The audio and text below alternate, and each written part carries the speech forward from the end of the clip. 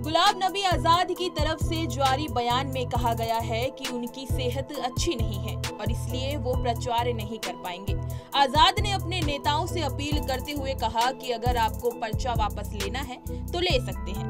दिल्ली से कश्मीर की राजनीति में गए पूर्व केंद्रीय मंत्री गुलाब नबी आज़ाद वोटिंग से पहले सरेंडर मोड में पहुँच गए हैं। चुनाव नहीं लड़ने की घोषणा के बाद अब आज़ाद ने प्रचार भी नहीं करने का फैसला किया है।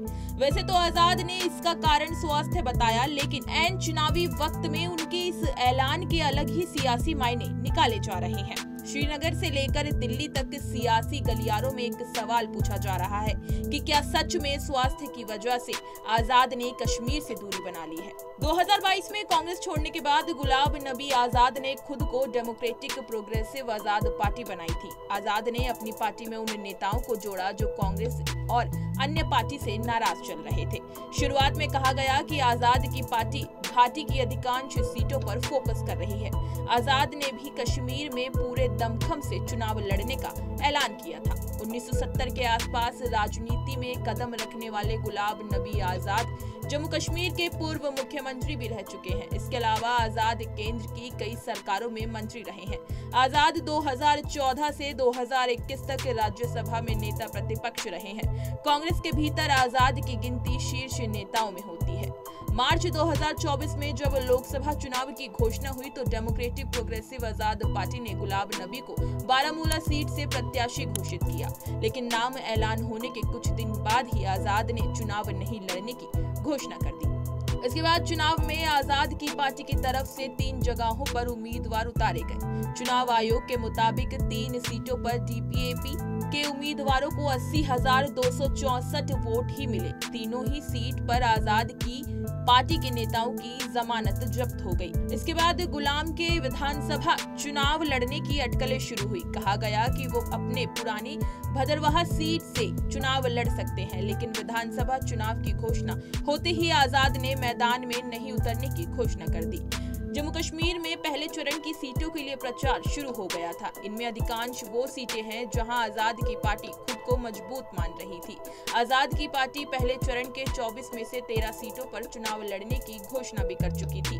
लेकिन प्रचार शुरू होते ही आज़ाद ने रैली नहीं करने की घोषणा कर दी। आज़ाद की तरफ़ से जारी बयान में कहा गया कि उनकी सेहत अच्छी नहीं है, इसलिए वो प्रचार नहीं कर पाएँगे। आज़ाद ने अपने नेताओं से अपील करते हुए कहा कि अगर आपको पर्चा वापस लेना है तो ले सकते हैं।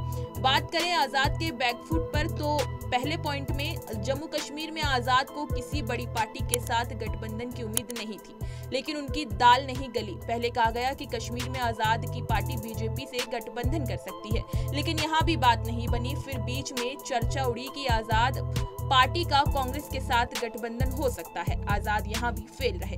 बात करें दूसरे पॉइंट की तो घाटी में राज्य का दर्जा और अनुच्छेद 370 का बड़ा मुद्दा है। आज़ाद इस पर रवैया ढुलमुल ही रहा है। जब केंद्र 370 हटा रही थी, उस वक्त आज़ाद ही नेता प्रतिपक्ष थे। कहा जाता है कि आज़ाद खुद लड़कर इस गुस्से का शिकार नहीं होना चाहते।